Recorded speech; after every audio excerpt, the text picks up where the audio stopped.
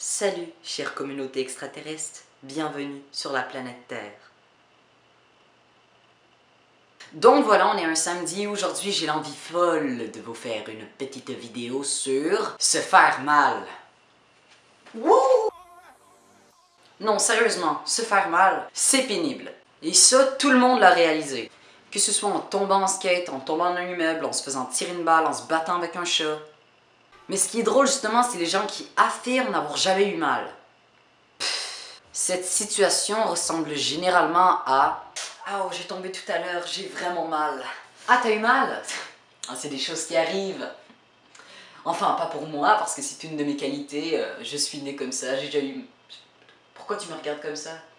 Ah, Je sais, je suis un peu spéciale. J'ai jamais eu mal.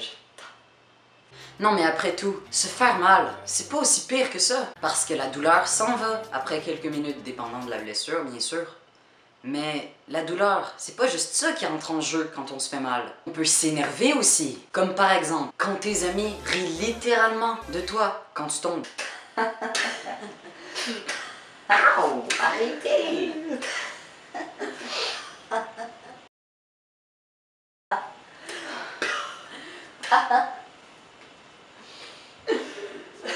Il y a quelque chose de plus frustrant encore. Au moment où tu dis à tes amis qui riaient que tu as sérieusement mal, ils te disent Comment ça va?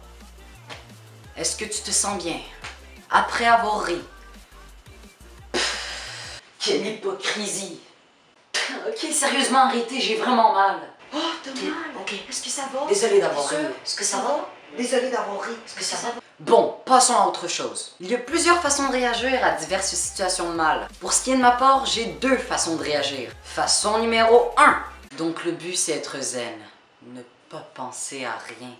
Être seulement calme. Façon numéro 2. Donc le but c'est carrément s'énerver et frapper tout le monde sans le vouloir. That's it. Moi, il y a une chose bien précise qui me choque énormément. Il y a toujours le même type de personne qui revient à chaque fois que je me blesse. Oh, je crois que j'ai une petite égratignure. N'oublie pas de te désinfecter parce que si tu ne te désinfectes pas, le virus aura accès à ton bras. Du coup, les médecins vont t'amputer littéralement.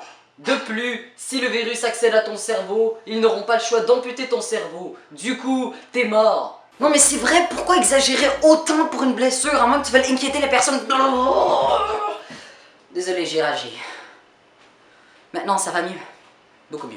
Maintenant, dernière chose qui me fait beaucoup, beaucoup, beaucoup, beaucoup, beaucoup, beaucoup, beaucoup, beaucoup rager, c'est, euh, comment dire, euh, les gens qui empirent la blessure au lieu d'aider. Oh non Jackie, Non, non, non Non, faut lui jeter de Arrête, l'eau c'est de l'huile. Bon, c'est tout pour ce vlog. Merci de m'avoir écouté.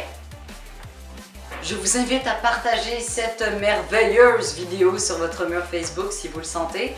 Et puis vous pouvez me rejoindre sur Instagram, sur Twitter, tous mes réseaux sociaux. N'oubliez pas de vous abonner parce que été obligée de mettre de l'eau sur mon tapis et aussi euh, de me mettre de l'encre sur les mains.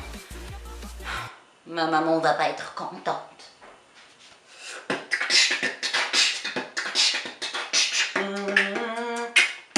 Bye keep the